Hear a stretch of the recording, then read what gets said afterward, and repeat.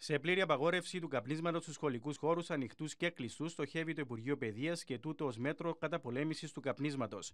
Δεδομένου ότι η Κύπρος κρατάσσεται στις υψηλότερες θέσεις στην Ευρώπη ως προς την συχνότητα του καπνίσματος μεταξύ των εφήβων. Η πολιτική αυτή αποτελεί ένα βασικό μέτρο πρόληψης κατά του καπνίσματος στον χώρο του σχολείου και θα έλεγα ευρύτερα. Μέσα από τα αναλυτικά προγράμματα διαφόρων γνωστικών αντικειμένων, αλλά και με την αξιοποίηση στοχευμένων και βιωματικών δραστηριοτήτων, επιδιώκουμε τη σωστή και έγκαιρη ενημέρωση των μαθητών μας.